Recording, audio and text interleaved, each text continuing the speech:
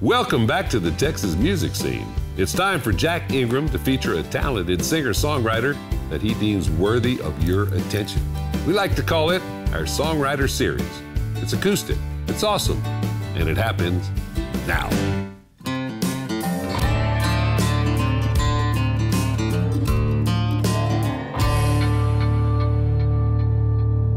Hey, Ray. Thanks, little buddy.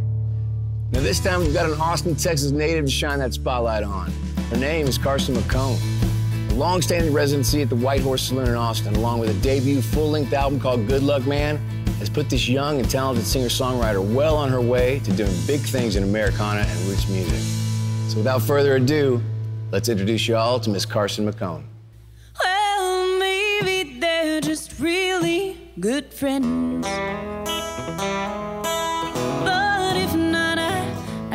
Just pretend. Oh, that she means no more than me to him. After all, they're only friends. Maybe They're Just Really Good Friends was a song that was written because I caught myself saying that phrase. I thought it was funny. One of those that's like, man, I can't believe that hasn't been written. It's something that I think a lot of people can relate to and is discussed in many traditional country western sort of style tunes. I had me this good luck man. He's got this way of hiding.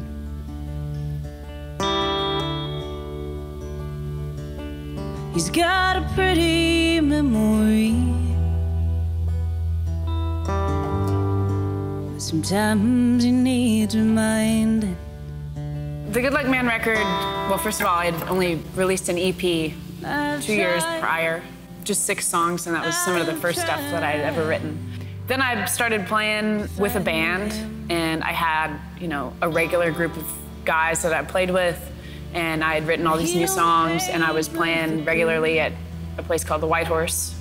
I wanted to make a live record, and that's essentially what we did. We went into the engineer's house and set up and basically tracked everything live, and it's just, I mean, some of the songs, like the title track, Good Luck Man, that, that I played for y'all is definitely, you know, more stripped down songwriter acoustic stuff. And there's some more of that, some, some darker songwriter stuff on there, but then the rest of it is pretty straight up country honky tonk music with the band of guys that I was playing with every week. I'm proud of that record because, you know, it, was just directly taken out of those two years playing every week at the horse and um, writing songs about that.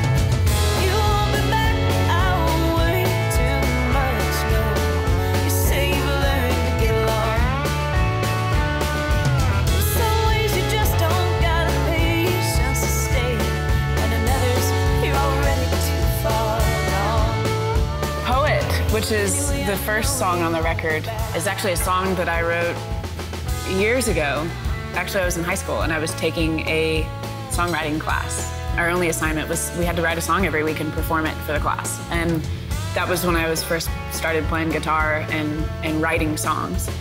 It was a song that I had I hadn't played in a, in a while and I came back to and brought it to the full band and, and really loved revisiting it. And I think it's a it's a nice opener to the record. It sort of rides that Americana line, country Americana line. I'm getting ready to make decisions about where and with whom I'll be recording a new record with. I have a handful of new songs. But yeah, I've been on the road for the past year and essentially our set now is comprised of like half of the songs from Good Luck Man and half of them are new and uh, pretty broken in. So I'm ready to get them recorded and out into the world. Um, that'll happen soon. Really not, I, I guess I'd just pretend.